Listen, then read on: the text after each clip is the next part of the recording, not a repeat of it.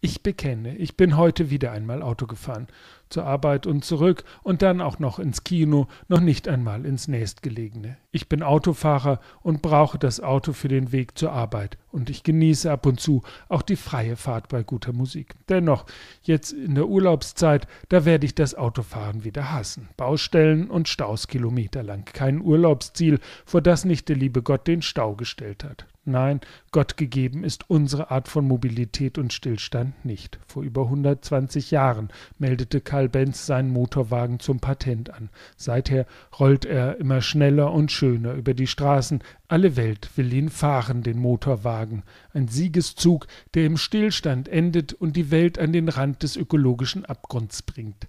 Wenn uns die Schwellenländer diese Art von Fortschritt nachmachen, dann werden auch die Chinesen, die Russen und die Inder im Stau stehen und die Klimakatastrophe ist nicht mehr abzuwenden.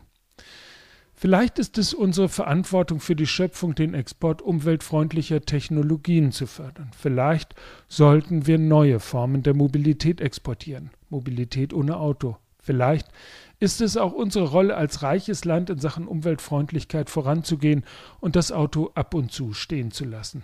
Leicht gesagt, aber nachher setze ich mich wieder in mein Auto und bin selbst ein Teil des Staus und der Umweltzerstörung. Sicher, ich kann mein Autofahren einschränken, aber meine Kinder werden mir dennoch einmal vorwerfen, dass ich ihre Umwelt zerstört habe.